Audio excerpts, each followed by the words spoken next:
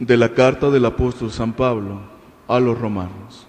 Hermanos, no tengan con nadie otra deuda que la del amor mutuo, porque el que ama a su prójimo ha cumplido ya toda la ley.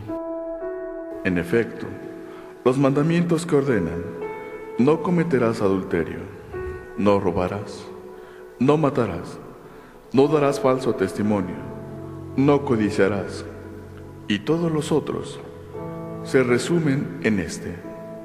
Amarás a tu prójimo como a ti mismo. Pues quien ama a su prójimo no le causa daño a nadie. Así pues, el cumplimiento pleno de la ley consiste en amar. Dichoso el que se apiada y presta. Dichoso quien teme al Señor y ama de corazón sus mandatos su linaje será poderoso en la tierra, la descendencia del justo será bendita. Dichoso el que se apiada y presta. En las tinieblas brilla como una luz el que es justo, clemente y compasivo. Dichoso el que se apiada y presta, y administra rectamente sus asuntos. Dichoso el que se apiada y presta.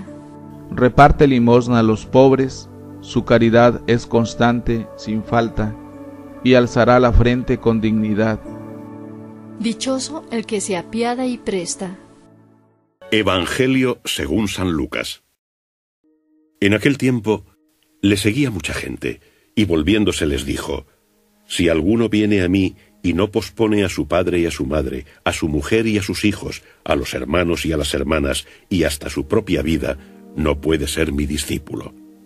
Quien no carga con su cruz y viene tras de mí, no puede ser mi discípulo.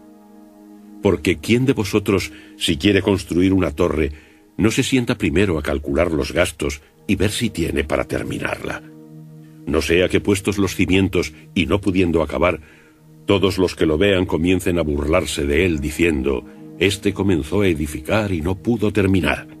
¿O qué rey cuando va a salir a luchar contra otro rey no se sienta antes a considerar si puede enfrentarse con diez mil al que viene contra él con veinte mil. Y si no, cuando aún está lejos, envía una embajada para negociar la paz. De igual modo, por tanto, cualquiera de vosotros que no renuncia a todos sus bienes, no puede ser discípulo mío.